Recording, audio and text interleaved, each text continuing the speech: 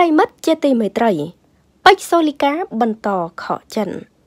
ចាថាតើពេជ្រសូលីកាបន្តខកចិត្តអ្វីនោះឥឡូវយើងតាមដានព័ត៌មានលម្អិតទាំងអស់គ្នា គម្រោងធំរបស់ពេជ្រសូលីកាដែលចង់ដឹកដៃប្តីនាងលោកកឹមហានរៀបការនៅឆ្នាំ2021នេះត្រូវបានជាប់គាំងដោយសារតែ COVID-19 តើបធ្វើឲ្យសូលីកាមិនសូវរីករាយឡើយបើទោះជាពេលនេះនាងកំពុងហឺហាមិនចាញ់តារាប្រទេសជិតខាង តាមរយៈការរស់នៅខុនដូ និងជិះរថយន្តទំនើបទំនើបដូចជា Point BMW Range Rover ក្តី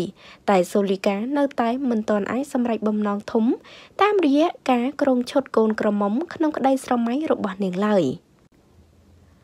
ប៉ុន្តែមិនមែនតែសូលីកាម្នាក់ទេដែលខកខាន ក្រាបផ្ទឹមព្រោះតែកូវីដនោះព្រោះតារាកំ pl ែងនាងវ៉ានីឡានិងតារាសម្ដែងនាងម៉ានីកា រួមទាំងតារាសម្ដែងប៉ាចគេមួយក៏ស្ងាត់រឿងរៀបការដែរព្រោះតែកូវីដមិនទាន់រលាយនេះដែរ ដោយឡែកបេសូលីកាវិញរឿងដែលធ្វើឲ្យនាងកាន់តែខកចិត្តជាងមិនទាន់បានរៀបការនេះ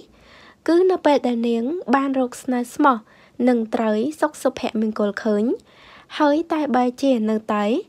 បៀមទុកសោកក្នុងជីវិតព្រោះម្ដាយជាទីស្រឡាញ់របស់នាង អ្នកស្រីសិនស្រីនាងពេលនេះស្ថិតនៅក្នុងពន្ធនាគារនៅឡើយ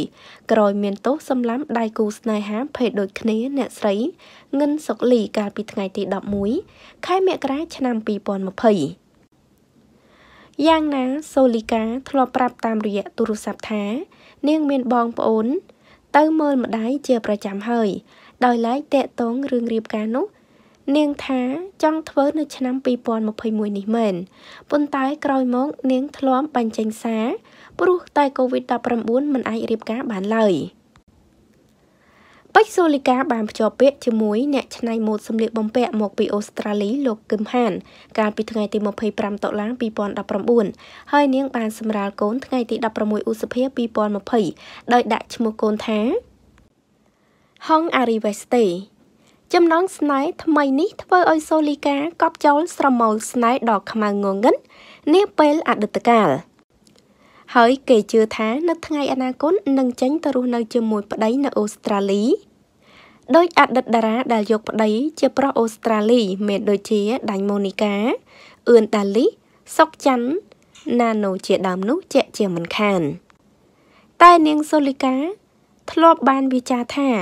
នាងមិនតន់គិតដល់ចំណុចថាថ្ងៃក្រោយគួរបន្តរស់នៅស្រុកខ្មែរឬទៅរស់នៅអូស្ត្រាលីឡើយ